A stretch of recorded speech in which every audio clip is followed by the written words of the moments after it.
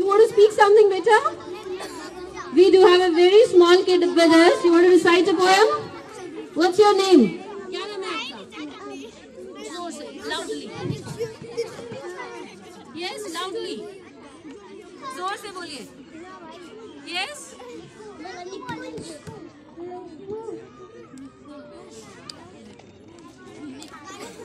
Yes, बेटा, you want to recite a poem? Poem बोलनी है आपको?